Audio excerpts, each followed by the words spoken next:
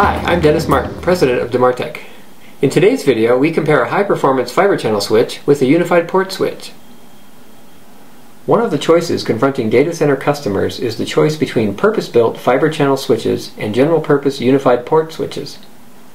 A dedicated fiber channel switch is optimized for block-based fiber channel storage applications and provides proven availability and performance.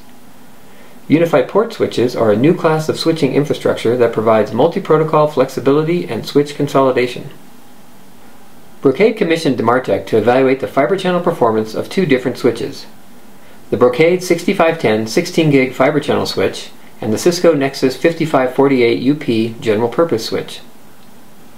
First, let's examine the physical and environmental characteristics of the two switches. The Brocade switch supports fiber channel speeds up to 16 gig per second while the Cisco switch currently supports fiber channel speeds up to 8 gig per second. While both switches support a total of 48 ports, the Brocade switch is smaller and consumes less power. The two switches are designed differently.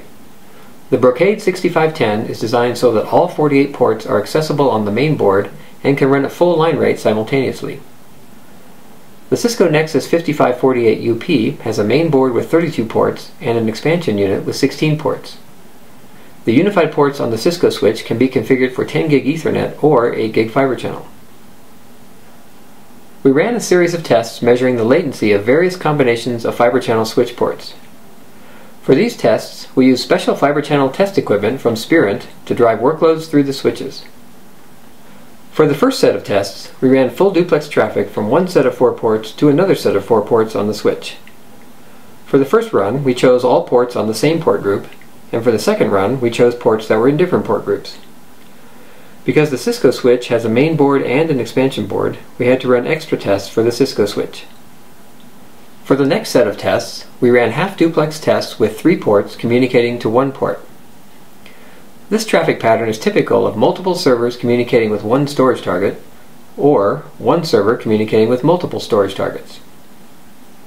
Power consumption is becoming increasingly important in data centers. We measured the power consumption of each switch twice.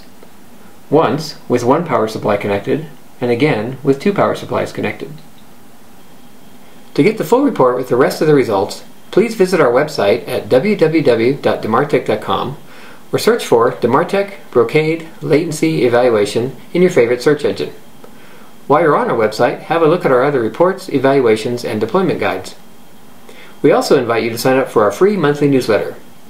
I'm Dennis Martin, and thanks for watching.